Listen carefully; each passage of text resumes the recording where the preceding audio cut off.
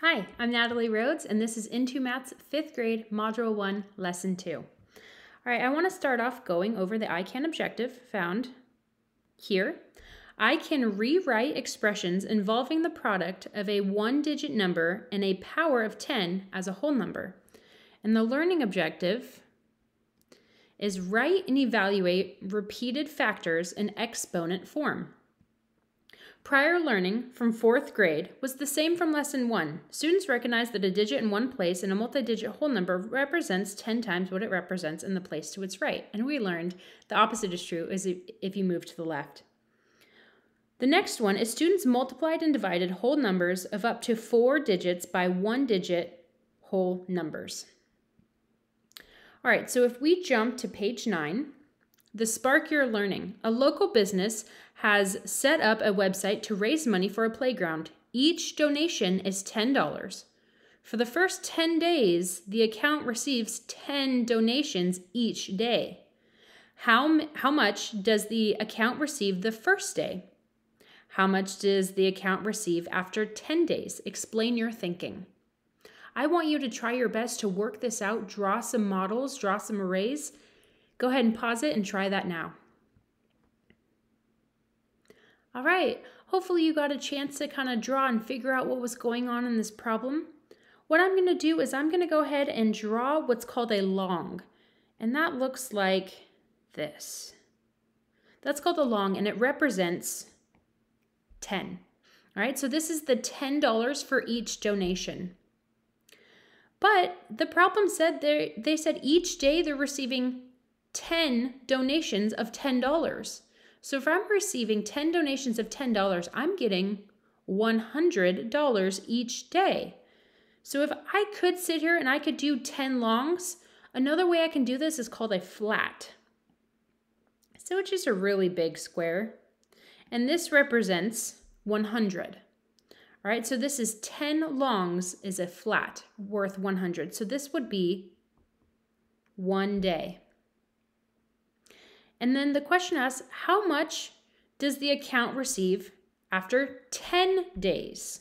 All right, so if I wanted to show 10 days, what I want to do is I'm showing I'm getting $100 per day for 10 days. So now I'm multiplying this number again by 10. So I'm going to attempt to turn this into what's called a cube. Not bad. All right, so now I'm making this worth 1,000. And all you said, all you see that I did was add a zero. I'm multiplying by 10 and we know I'm allowed to just add a zero. So this cube is now 1,000 and now this is worth all 10 days. Now going from drawing to do this to number base, what I did was I took my $10 and I multiplied it by my 10 donations for one day and then I multiplied it again by 10 days. Now, if I have repeated multiplication in the same number, I'm allowed to use an exponent. So I took my base number here, the number I'm multiplying is 10. How many times I'm multiplying it? I'm multiplying it one, two, three times. That's where my exponent comes in. The 3 is the exponent. You can call this 10 cubed or 10 to the third power. All right, so now jumping to page 11, I'm going to be going over number two. It says a company sells 10 to the sixth power cell phones per week for seven weeks. The total number of cell phones sold is 7 times 10 to the sixth phones. How many phones is this written as a whole number? Write 7 times 10 to the 0, 7 times 10 to the 1, and so on. All right, so looking at this first line here, it says 7 times 10 to the 0 equals 7 times 1. Well, how can 10 to the 0 equal 1? Well, remember what this is saying is how many 10s are showing up. If you have 10 to the 0, it means there aren't any 10s. There are 0 10s, there's nothing there. So it's just 7. 7 times 1 is 7.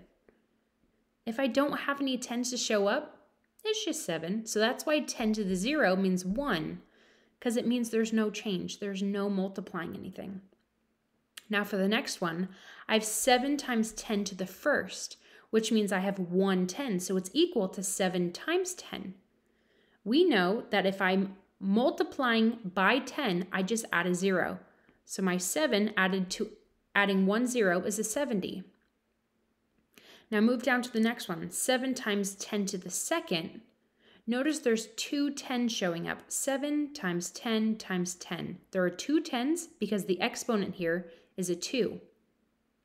Now you'll notice a pattern as I start going ahead is how many zeros? If I have two 10s, I have two zeros. Another way to look at this is what is the exponent? If the exponent is 2, I'm going to have two zeros, making 700. And the pattern is going to continue. So 7 times 10 to the third, showing 7 times 10 times 10 times 10 to the third.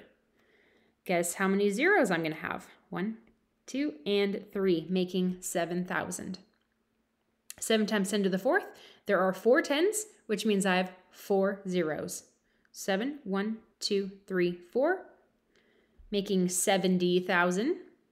Keep going, 7 times 10 to the fifth. I have those 10 fives, which means I have, I'm sorry, I have five tens, which means I need five zeros. One, two, three, four, five. Now I have 700,000. 7 times 10 to the sixth, six tens, so six zeros. One, two, three, four, five, and six. Seven million. So how many phones are sold in seven weeks?